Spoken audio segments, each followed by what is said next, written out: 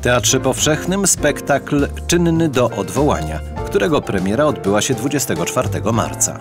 Przedstawienie oparte jest na wierszach i prozie Marcina Świetlickiego. Przez krakowski bar przewijają się postaci dramatu, tu zawiązują się i rozgrywają wszystkie wątki. W formie przypominającej musical szczególną rolę odgrywa warstwa muzyczna. Spektakl wyreżyserował Piotr Bikont.